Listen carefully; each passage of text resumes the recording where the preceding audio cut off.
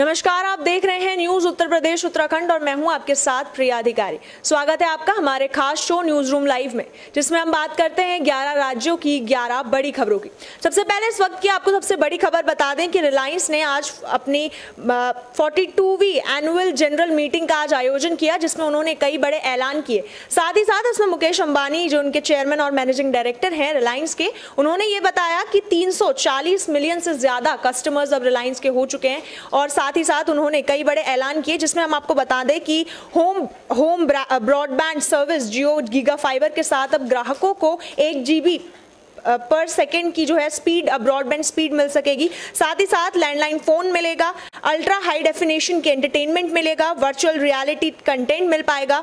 Multi party video conferencing आप इससे कर पाएँगे। साथ ही साथ वॉइस इन बैंड वर्चुअल असिस्टेंस आपको इसमें मिलेगा। इंटरक्टिव गेमिंग हो सकेगी होम सिक्योरिटी और साथ ही साथ स्मार्ट होम सोल्यूशंस भी मिल सकेंगे। इसी के साथ रिलायंस ने यहाँ पे कई बड़े ऐलान किए और उन्होंने कहा है कि सात सौ में ही जियो का गीगा फाइबर यहाँ पर मिल पाएगा और सालाना प्लान अगर आप इसका लेते हैं तो आपको एक फ्री एलईडी टीवी भी मिलेगा। इसी के साथ जियो फाइबर जो है, वो 5 सितंबर 2019 से ही ये सब कुछ उपलब्ध हो जाएगा और सारी की सारी जो स्कीम्स हैं, ये तब से लागू हो जाएँगी। अब बात करते हैं ग्यारह राज्यों की ग्यारह बड़ी खबरों की तो जिस पर ज़्यादा जानकारी के लिए हमारे साथ मौजूद है पुलकित। सबसे पहले शुरुआत करते हैं हम जम्मू कश्मीर की, जहाँ पर अनुच्छेद 370 हटाए जाने के बाद आज जब बकरीद आज बकरीद का मौका है, उस पर आज अमन के साथ जम्मू कश्मीर में बकरीद मनाई गई है और साथ ही साथ पुलिस ने यहाँ पर मिठाइयाँ भी बांटी हैं। आ, बिल्कुल सबसे पहले आपको बता दें कि धारा 370 हटने के बाद पहली बार यहाँ पे इस वक्त ईद यहाँ मनाई गई और हालाँकि आपको बता दें कि देश को संबोधन जब संबोधित कर रहे थे प्रधानमंत्री नरेंद्र मोदी तो उन्होंने उस दौरान कहा था कि सुरक्षा कर्मियों ये भी कहा था कि सभी को ध्यान रखा जाएगा ईद सब लोग अच्छे से मना पाएँगे और जो आने वाले जो वहाँ पे कश्मीर जो दूसरे राज्य में रहते हैं कश्मीर के लोग जो कश्मीर कश्मीर वापसी करेंगे उनका भी खास ख्याल रखा जाएगा और अजीत डोवाल भी इस वक्त वहाँ पहुँचे हुए हैं। तो इस वक्त वहाँ देखिए आपको बता दें कि तीन हटने के बाद पहली बार आज वहाँ पे ईद मनाई गई बकरीद। और ऐसे में श्रीनगर और राज्य के बाकी हिस्सों में लोगों ने मस्जिदों में बकरीद की नमाज़ अदा की और साथ ही अभी तक कहीं से भी किसी भी प्रकार की कोई भी घटना मतलब कहीं भी अभी तक कुछ हिंसक घटनाओं की बात कर रहे हैं, अभी तक इस तरह की खबरें कोई नहीं आ रही। मतलब सिचुएशन अभी तक पूरी तरह कंट्रोल में है और कर्फ्यू जो वहाँ लगा हुआ था वन लगी हुई थी, ऐसे में इसमें ढील दी गई थी। और आज अभी तक वहाँ देखें तो पुलिस ने यहाँ पे मिठाइयाँ भी बांटी हैं। तो मतलब एक लोगों के, जो वहाँ पे तमाम जो स्थानीय लोग हैं, उनके साथ संबंधों को सुधारने के लिए ऐसे में यहाँ पे इस वक्त पुलिस ने पहल की और इस अभी की बात करें तो वहाँ पे इस वक्त लोग सुबह मस्जिद भी गए थे वहाँ पे नमाज़ अदा की और उसके बाद अभी पूरे वहाँ पे देखें तो अच्छा इस वक्त वहाँ पे माहौल इस वक्त कश्मीर में जी त्योहार का माहौल है और साथ ही साथ शांति बनी हुई है पूरी घाटी में। वहीं आगे बढ़ते और बात करते हैं उत्तर प्रदेश की। तो योगी सरकार ने एक फैसला किया है और योगी सरकार ने ऐलान किया है कि बकरीद और रक्षाबंधन पर 24 घंटे जो पूरे प्रदेशवासियों को 24 घंटे वहाँ पर बिजली मुहैया कराई जाएगी। और इससे पहले योगी सरकार ने अनाउंसमेंट की थी कि कि जब रक्षाबंधन है तो उस दिन सभी बहनों को, प्रदेश में सभी बहनों को, उनको फ्री में बस में सफ़र करने का मौका दिया जाएगा। तो ऐसे में, उसके बाद योगी सरकार ने एक और एक्शन लिया है।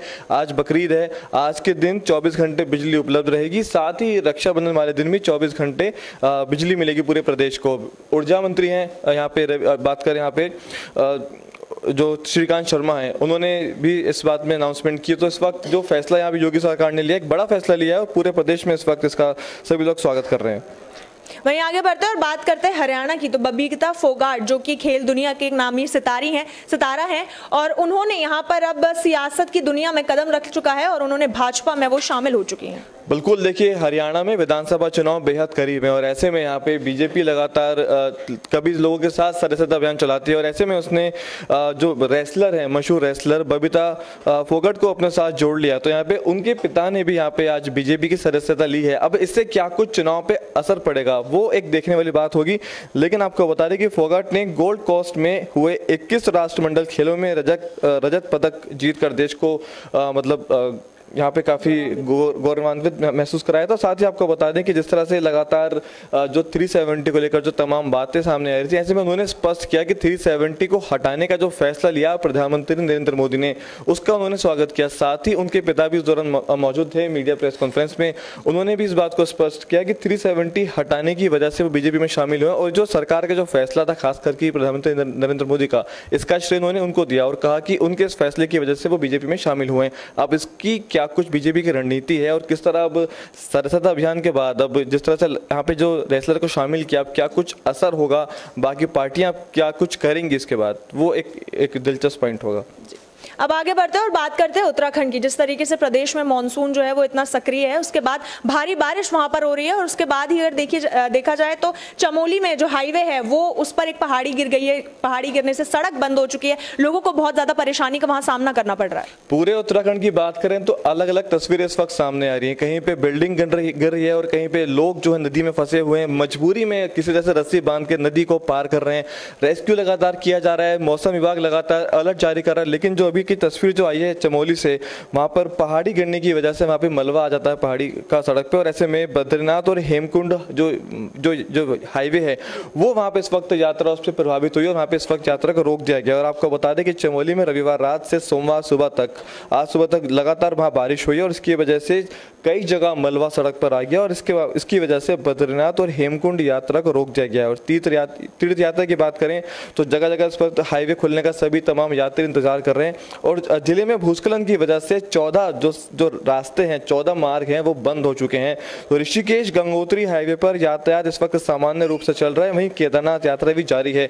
लेकिन पूरे अगर प्रदेश की आप बात करेंगे तो तस्वीर काफ़ी इस वक्त डरावनी तस्वीर है, भयावह तस्वीर है। और प्रशासन को लगातार मौसम विभाग अलर्ट कर रहा है कि आने वाले दिनों में क्या कुछ होगा, किस तरह मौसम का वहाँ जो कहर है, वो किस तरह लोगों पर बरपेगा। और ऐसे में इसको देखते हुए तमाम प्रशासन इस वक्त पूरी मुस्तैदी के साथ इसका सामना करने के लिए तैयार है। वहीं आगे बढ़ते हैं और बात करते हैं पंजाब की। तो सुप्रीम कोर्ट के आदेश के बाद जो नई दिल्ली में तुबलकाबाद में श्री गुरु रविदास जी का जो प्राचीन मंदिर है, उसे तोड़ने का जो आदेश दिया गया था, उसके बाद 13 अगस्त को यानी कि कल पंजाब बंद का जो है ऐलान किया गया है।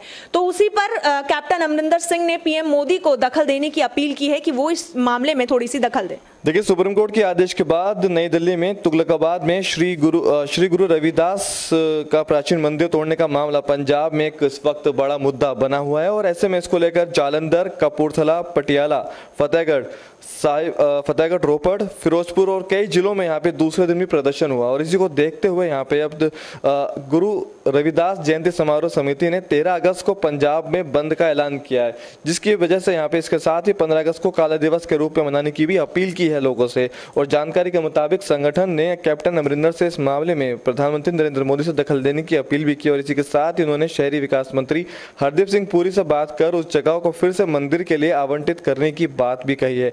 और कैप्टन अमरिंदर ने समुदाय को वित्तीय और कानूनी मदद कराने का भरोसा भी दिया है यहाँ पे और ताकि इस मामले को आगे ले जाने में परेशानी ना हो। अब देखिए सरकार यहाँ पे केंद्र सरकार से अब वो मुलाकात करेंगे। अब क्या कुछ केंद्र सरकार फैसला लेती है, यहाँ पे वो देखना होगा। वहीं आगे बढ़ते हैं और बात करते हैं छत्तीसगढ़ की। तो 15 अगस्त पर प्रदेश में पहली बार सरेंडर महिला नक्सली जो है वो परेड करती हुई नज़र आएँगी। बिल्कुल देखिए ये एक, एक बहुत पॉजिटिव एक कदम है और जिस तरह से यहाँ पे जो जिन महिलाओं ने नक्सली महिलाओं ने सरेंडर किया क्योंकि तो एक अच्छा एक संदेश यहाँ पर होगा। और आपको बता दें कि ज़िले में स्वतंत्रता दिवस की तैयारियाँ इस वक्त जोरों पर चल रही हैं। छत्तीसगढ़ की बात हम कर रहे हैं और यहाँ पे छत्तीसगढ़ में पहली बार ऐसा होगा कि जब सरेंडर कर नक्सली भी आज़ादी के जश्न में होने वाली परेड का हिस्सा बनकर राष्ट्रीय ध्वज को सलामी देंगे। तो ये यहाँ पे इस वक्त ये एक, एक बहुत अच्छा एक पॉइंट है और इसी के यहाँ पे आपको बता दें कि इसके लिए रिहर्सल भी लगभग पूरी होने को है और नक्सलियों ने से नक्सलियों से आज़ाद होने के बाद पहली बार देश की आज़ादी के जश्न की परेड में शामिल हो रही सरेंडर महिला नक्सली बेहद इस वक्त उत्साहित हैं और ज़िले में इंडिपेंडेंस डे को लेकर तैयारी इस वक्त जोरों पर चल रही हैं। जी। वहीं आगे बढ़ते हैं और बात करते हैं मध्य प्रदेश की। तो मध्य प्रदेश के उज्जैन में जो महाकाल मंदिर है उस पर जो अगर उसकी बात की जाए तो वहाँ पर अंतिम सोमवार में सावन के इस माह के जो अंतिम सोमवार है उस पर चार रूप में महाकाल वहाँ दर्शन देने वाले हैं और भस्म आरती वहाँ पर की गई है और भस्म आरती पर बहुत बड़ी संख्या में जो वहाँ पर है भीड़ उमड़ कर आई है। बिल्कुल देखिए आज सावन का आखिरी सोमवार और ऐसे में दोपहर को चार बजे निकलने वाली सवारी में बाबा अपने भक्तों को चार रूपों में दर्शन देंगे। तो उस वक्त वहाँ की अगर बात करें उज्जैन की तो जो वहाँ पे भक्ति में माहौल इस वक्त नज़र आ रहा है और तमाम जो वहाँ पे भक्त हैं, अभी से वहाँ श्रद्धालु वहाँ पे पहुँचने लगे कि बाबा के दर्शन के लिए। और उसके बाद यहाँ पे भादो मास में बाबा की दो सवारी भी निकलेंगी। और आपको बता दें कि इसके पहले सुबह हज़ारों की संख्या में यहाँ पे तमाम भक्त इस वक्त भस्म आरती में पहुँचे। वहाँ पे उन्होंने आरती देखी और आरती के दर्शन किए। और यहाँ पे इस वक्त जिस तरह से जो आज शाम को चार बजे जब बाबा अपने चार रूपों में दर्शन लेंगे तो वहाँ पे सुरक्षा व्यवस्था एक बहुत बड़ी चुनौती है प्रशासन के सामने। लेकिन इस वक्त उन सबको देखते हुए यहाँ पे पुलिस और प्रशासन पूरी तरह मुस्तैद कर दिया गया है। सुरक्षा कर्मियों को भी यहाँ पे सहयोग करने के निर्देश दिए गए हैं। वहीं आगे बढ़ते हैं और बात करते हैं बिहार की। तो डीजे डीजे बजाने को लेकर यहाँ पर दो पक्षों में खूनी संघर्ष हुआ और उसके बाद पुलिस को भी पीटा गया और साथ ही साथ इलाके में इस वक्त तनाव का माहौल है। आ, बिल्कुल देखिए ज़िले के कांटी थाना क्षेत्र में सुबह करीब नौ बजे डीजे बजाने को लेकर दो पक्षों में कहा सुनी के बाद मारपीट होने लगी और उसको देखते ही देखते दोनों पक्षों के लोग बड़ी संख्या में जुट गए और दोनों की दोनों पक्षों की ओर से जमकर मारपीट की गई और पत्थरबाजी तक बात पहुँच गई। और उसके बाद बाइक और साइकिल भी इतना मामला जब ज़्यादा बढ़ तो हिंसा का रूप इसने ले लिया और ऐसे में बाइक और साइकिल जो वहाँ पे खड़ी थी, उन सभी में आग लगा दी गई और मौके पर पहुँची पुलिस पर भी लोगों ने पथराव कर दिया। जब पुलिस वहाँ पहुँचती है शांत कराने के लिए, लेकिन उसके बावजूद भी पुलिस पर पथराव किया गया और उसके बाद इस घटना में कई पुलिसकर्मी को भी चोटें आई हैं और साथ में आपको बताएँ कि स्थिति नियंत्रण नियंत्रण करने के लिए पुलिस को लाठीचार्ज करना पड़ा, लेकिन किसी तरह तब जाके मामला शांत हुआ। स्थिति को तब काबू में किया गया और तीन लोगों को इस वक्त हिरासत में लिया गया और स्थिति इस वक्त तनाव पर देखते हुए पूरे क्षेत्र की बात करें तो वहाँ पे पुलिस इस वक्त वहाँ पे तैनात कर दी गई है। वहीं आगे बढ़ते और बात करते हैं झारखंड की। तो गढ़वा में एक ही परिवार के चार लोगों के शव मिलने से इस वक्त वहाँ पे पूरी सनसनी फैल रही है। आ, बिल्कुल देखिए यहाँ पे इस वक्त इस घटना के बाद से पूरे इलाके में दहशत का माहौल बना हुआ झारखंड के सुदूरवर्ती जिला गढ़वा वहाँ पे एक ही एक ही परिवार के चार लोगों के शव मिलने से इस वक्त सनसनी फैली हुई है और ऐसे में आपको बताया जा रहा है कि कैंसर से पीड़ित शिव कुमार बैठा को आज रांची जाना था।